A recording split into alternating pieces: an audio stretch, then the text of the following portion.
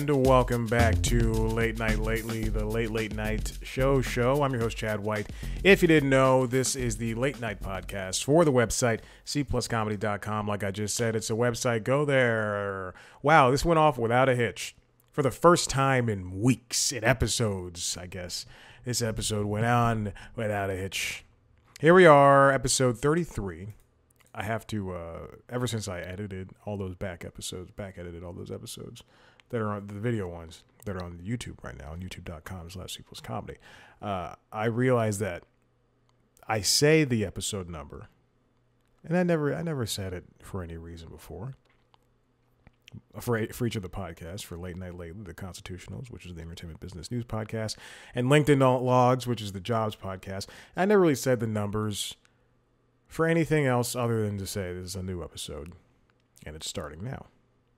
However, saying the episodes in the video has really helped out because either the video's wrong or the the title the the current episode title number is wrong.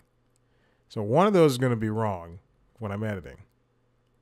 And I'm always glad I say the right thing or the wrong thing. I'm glad I say something because it helps me out. If you edit videos, you'll know. Back at it again. Here we are. Don't come over here, buddy.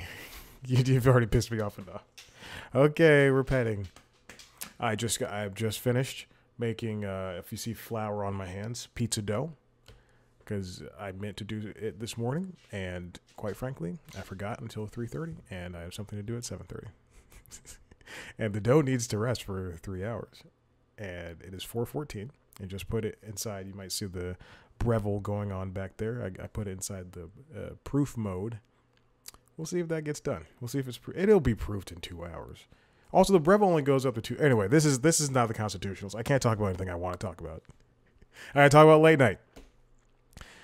Here we are. Um, this is you know I've, i don't think i've ever recorded an episode of this show uh, during or post of a traumatic event that has happened where the hosts feel the need to say something. And it's uh it's it's i i you know i, I guess i'll just say it.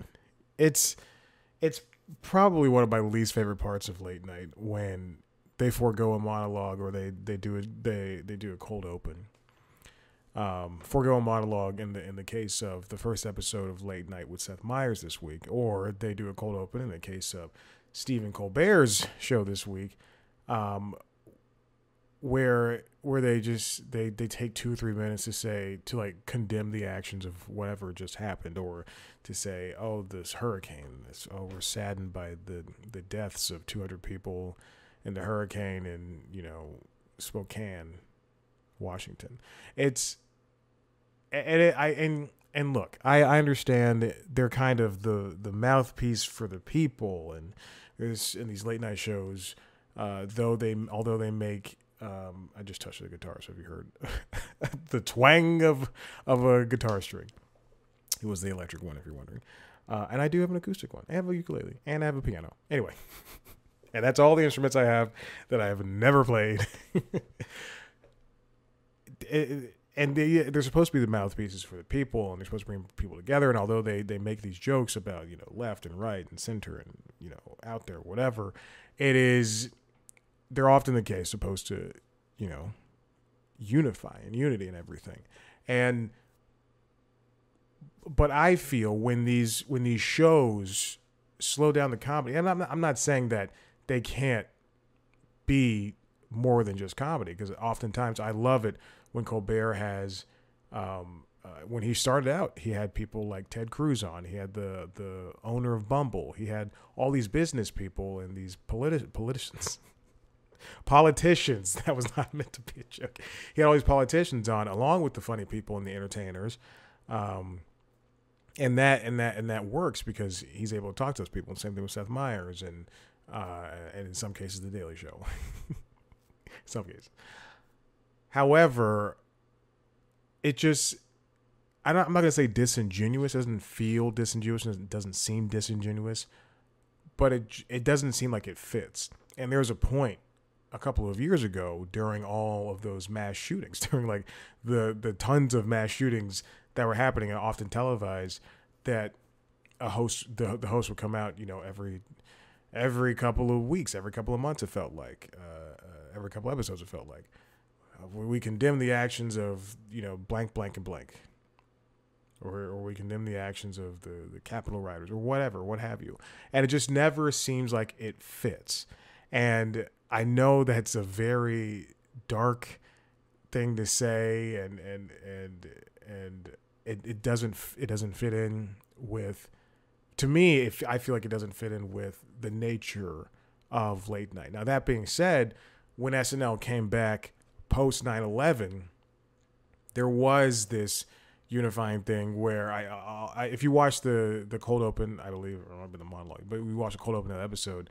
It was like Rudy Giuliani and uh, an, an SNL producer slash creator Lorne Michaels on stage with like the cast and firefighters and medics and and police officers and uh, and then they gave you know this this I don't know what to say speech, but they gave like this talk yeah, speech speech. They gave this speech and uh, which is a one sided talk and and at the end, I believe Lorne looked like looked around and said, "Can we be funny now? Is it okay to be funny now?" Something along those lines. And then the theme song started or whatever like that, something like that. But now, I mean, but that was then. And now it's just, you know, there's so much happening. And yes, there was an assassination attempt, but uh, he's fine, you know, and, uh, uh, and and those people are using that as fuel Metallica. Give me fuel, give me fire, give me that which you desire. and they're using that. So, I mean, I, what does, and this is not, this is not, you, this is not me going after Seth or Colbert or Jon Stewart, but what, or anybody else who talks about it, who talked about it on a comedy show, but, but what does that, what is that bringing to late night. You're not CBS Morning. You're not. You're not. You're not uh, Today Show. You're not CNN. Although there are people that only get their news from Last Week Tonight or The Daily Show, which is insane to me. That is the stupid. That is the quite frankly the dumbest thing. Even Trump gets his news from Fox News, and that's a more I would say that's a more reputable news source than some late night comedy show. I said it. So although it's a lot less funny. All right, what else, what else happened this week? Anthony Anderson hosted uh, Kimmel, and he he mentioned he mentioned the assassination attempt, and it was uh, uh, kind of in passing, um, but you know still doesn't really need to. Uh, and he kind of and I I'll say this, I was so off of late night this week, and I don't I cannot tell you why, but uh, I only saw a couple of. I, I have to go back. I don't have to, but I'll, I'll I might go back and watch a couple of uh, uh, Anthony Anderson's because I only saw his uh, his top of the week. Uh, I'll I'll or I saw either Monday and I saw Monday and Tuesday I think, but I'll I'll probably have to go back and watch his monologues and then the Daily Show was off Monday because they already had, as Jon explains in his monologue on Tuesday, they already had everybody there. I don't understand why they didn't put on a show. I, I I know why they. I know. So here's here's here's two issues I have with the statement that Comedy Central put out for the reason why they, they didn't put on a show. They said uh, for the safety of our our, our cast and crew, or and, and we're not going to do a, a, live show from uh, uh, the RNC, the the Republican National Convention. The thing is, Stewart came out on Tuesday and was like uh, the security was so heightened that the the venue that they were going to do it at had to be they they had to do it at a different venue which was further away from the convention so it made no sense and you could they couldn't get um, audience members and all that stuff they couldn't get everything ready in time that's that's the reason that don't say for the safety of our staff and crew because one one person, John Hinckley Jr. didn't, you know, do try to do his thing, and then several people followed. It was one. It was one guy, and then, you know, the Secret Service, security, everybody else just kind of buttoned up and put on more security. It, it didn't make sense. I th- I still think they could have done a show. Uh, I did watch Colbert's live live episode after, and uh, it was it was really good. He had um, uh, uh, uh, basically a double monologue on Monday, which was good to see. I liked it. Good, a good little long monologue. I also want to know the audience. You know, was they had to? Did they sit there and watch the RNC?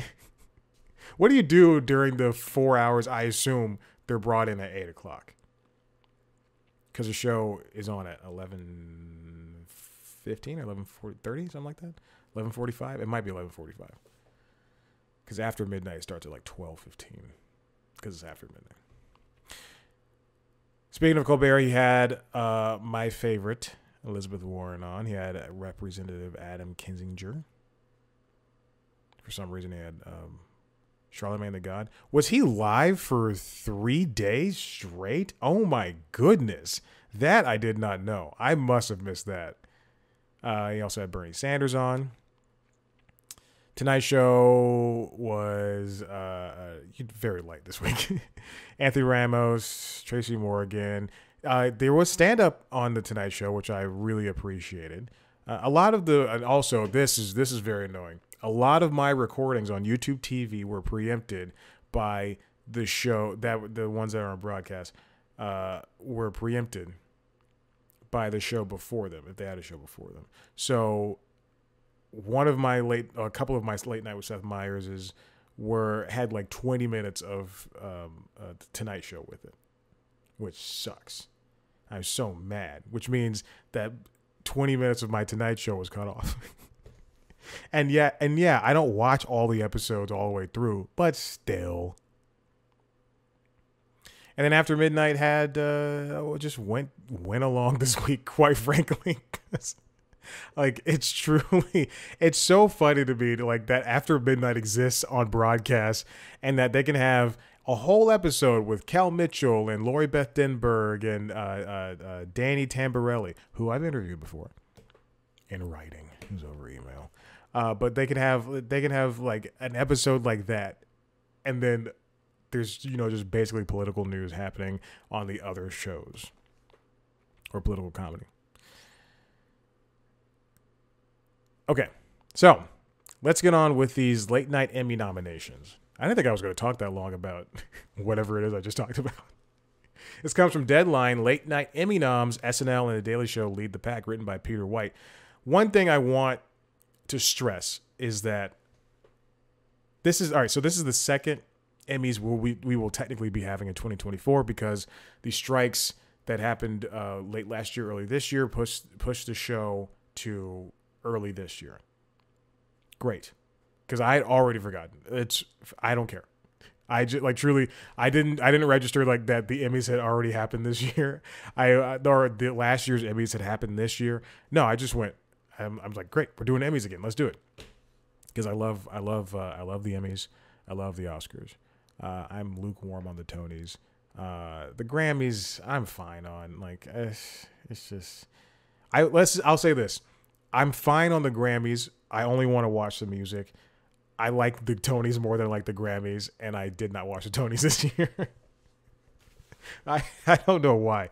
Uh, anyway, the late night the late night Emmys have uh, had a bit of a restructuring uh, within the last year. We all know that they had to change some shows to variety and other shows were, and by some I mean um, uh, John Oliver's show, and now we've got. There were supposed to be some disruptions this year. Uh, John Mulaney presents Everybody's in L.A. was Mulaney says he only he's only gonna do that show once, and that was for the um, uh, what's it called? The Netflix is Jokes Festival. Netflix is Jokes the Netflix is Jokes Festival, and that was and that was and he said he was only gonna do it once, but it was such a good and odd and funny show that I wouldn't be surprised if they if they brought it back next year. Um, however, it didn't it didn't get a nod at all. I think it was really like just for the blast of shows that they did, the the five or six they did. I think that show was really really good and really really funny. And even though it was broken, uh, Mulaney was like, "This is the best I could do," which is really funny. Saturday Night Live scored 17 nominations, uh, Peter White writes, which is nearly double the nine that it received last year. Uh, in addition to Outstanding Scripted Series, where it will go head to head with Last Week Tonight with John Oliver, SNL was helped by a trio of guest stars, including Ryan Gosling and Maya Rudolph and Kristen Wiig. Uh, the Maya Rudolph one was the Mother's Day one. I don't know if that's the one I would have uh, chosen. Anyway, Bowen Yang was also nominated for Outstanding Supporting Actor in a comedy series and it received one short form nomination for Behind the Sketch. No, Behind the Sketch does not deserve to win that not, that Emmy because uh, Seth Meyers deserves a win for corrections. Here it is. SNL will now face John Oliver after unusual nomination process for the Outstanding Scripted Variety Series category. These two shows were, quote, screened by the appropriate peer group for nomination, which is thought to have included voters from a number of genres, and both received more than 70% of votes from this group during the voting, which took place between June 28th and June, uh, July 8th. It will now proceed in the same way as the other categories. So it's going to go against John Oliver show. Yeah. The Daily Show tied its own 2022 record of seven nominations, including the Outstanding Talk series, where it won with former Trevor Noah last former host Trevor Noah last year, and writing and directing nods. Now, here's the thing I will say about uh, the Daily Show being nominated this year. I'm I'm guessing that Academy voters, which includes actors and writers and uh, television Academy voters, actors and writers and directors and producers and, and what have you, uh, I'm guessing those people are thinking, let's nominate the show for John's what Jon Stewart's doing now, but he didn't rejoin until a couple of months ago, and so that's like that's the part they're only thinking about. They're not thinking about the stuff that happened before. Anyway, Jordan Klepper and Desi Lydic, that's my theory. Jordan Klepper and Desi Lydic were also nominated for their work. Lydic's Foxsplains were nominated for Outstanding Performer in a Short Form Comedy or Drama Series, while Jordan Klepper's Fingers on the Pulse, the Moscow Rules landed a technical nomination. Yeah, that was a that was a good special. After the Cut was also nominated in the Outstanding Short Form Nonfiction or Reality Series ca- category, uh, competing with SNL Behind the Sketch, The Crown, Hacks, and Shogun. I'm going to tell you right now, After the Cut is much better than all of those. Behind the Sketch for SNL, I like watching those videos. What it is is uh, Behind the Sketch uh, is is a series on on YouTube on the SNL YouTube where they upload a two minute video. Uh, that is that shows time lapse photography with SNL music playing over it. So Lenny Lenny Pickett and his band playing music over it. Uh, uh, shows them setting up and and taking down sets, or it's uh, uh you know, uh, well as well. So like they'll seven, and then they'll also be like the writers will be like, oh, I wrote this, or the the act, the, not not the writers, the actors, because God forbid the writers get get anything, get any type of accolades. The actors will be like, oh yeah, this is a fun sketch to do. We did it all in two days, and uh, we wrote it with so and so and so and so, and then we chopped it, and then it's two minutes, and that's it. Uh, I don't know why I don't know why Hacks is in there. I don't know why Shogun or The Crown are in there. Maybe they have behind the scenes videos, but I could care less about one of those shows, and it's Hacks because I do not like that show. Take talking of short form, Seth Meyers' corrections. If you don't know what corrections is, you're missing out. Watch it. Just go type in late night corrections, Seth Meyers on YouTube, and watch from the beginning, and watch all all the videos accompanying it.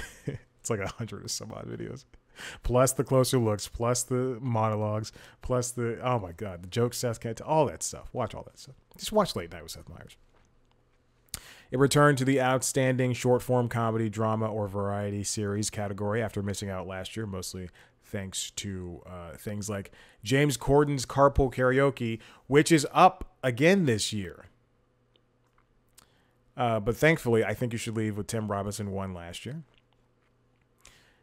Along with them, it includes uh, in that category with corrections, carpool karaoke, and I think you should leave.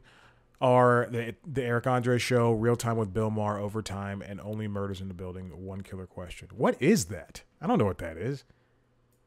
One killer question. I watched that show and I don't know what that is. Is that like um some type of after show? I, I'm okay. It's an after show.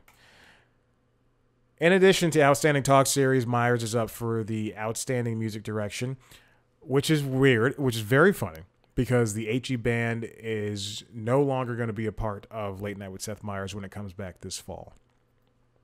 They're not going to have any more music. I mean, the band's going to be. I, if you listen to the episode I did uh, like two or three weeks ago, two or three episodes ago at this point, what the the short of it is, budget cuts, and they have to get rid of something. The band will still be a part of the show, but they'll be making pre-recorded music. Last week tonight secured six nominations including a number of technical and picture editing nods, up from four last year, uh, which is, I would say, four too many. the Late Show with Stephen Colbert is also up one extra nomination from last year, taking it to five in the in addition to the main talk show nom. It is also secured a directing nomination where it will compete against Jimmy Kimmel Live, which is getting two nominations, The Daily Show, and SNL. The outstanding writing for a variety series will be competed for by The Daily Show, Last Week Tonight with John Oliver, and SNL, with Late Night with Seth Meyers missing out as it went from five nominations to four. Oliver's team has won eight years in a row. I think this year, uh, and this is not me being a little snobbish about it. I think the Daily Show, the Daily Show, yeah, the Daily Show, that's what it's called. The Daily Show should win. I think it's because I call it Daily Show all the time. The Daily Show should win for uh, outstanding writing. I it's, it's just like, you know, with, and I know I just I just uh, uh, I know I just said something about Jon Stewart coming back, and people only taking into, into account that's why they're voting for that for outstanding talk show, um, for the past couple of months. But I think that that show has been firing on all cylinders, to use that over overused phrase, uh, for the for the past you know seven years, for a very long time. Is you know up up until Trevor Noah was leaving, and then even after that, it's been really really good. I think last week tonight is a little overhyped. Yes, I still watch it. And SNL writing, I, I just as much as we hear about, you know, Andy Samberg just appeared on Kevin Hart's uh, chat show on Peacock talking about how hard it was working at SNL and how he hated the seven years he was, or like the last couple years because he just never got any sleep and he hated blah blah blah. Uh, I know people say that stuff all the time, but man, I think the writing at SNL is still so good, even when it's a bad show. And if I can find, if I can, I hate saying bad, even if it's a show that's not very good, an episode that's not very uh, funny there's always at least one sketch where I can go, oh, that's pretty funny. You know, oh, I can find something fun in there. When it's a when it's a not a good show all around, you gotta go. Yeah, I think, oh, what was in the water that week? So those are the Emmy nominations. I I really really hope that Seth can bring home something. It's mostly for corrections. That's what I would love and it's uh, interesting to see Bill Maher still being nominated for things. But there you go. Listen, if you like what you heard here, head to the website cpluscomedy.com where I've got so many things. I've we've some stuff is happening. I know I haven't had any interviews in a long time, but some stuff is happening. So keep that in mind. Any Hoosers, uh, what else is going on? If you like the, if you want to see a video version of the show, as well as the other shows, uh, the Constitutionals podcast, which is the entertainment business news podcast, and LinkedIn Logs, which is the uh, jobs podcast. You can find, you, you can. That is the wrong. I'm so sorry. That's embarrassing. I clicked on the wrong one. Then you can uh, watch video versions of those shows on youtube.com slash comedy, and you can subscribe to those shows wherever you get your podcast. You can follow us on TikTok, Twitter, Instagram, and Facebook at C plus comedy. Follow me on those platforms at Chad Black White. Thank you so much for listening, and I'll see you next time. Bye.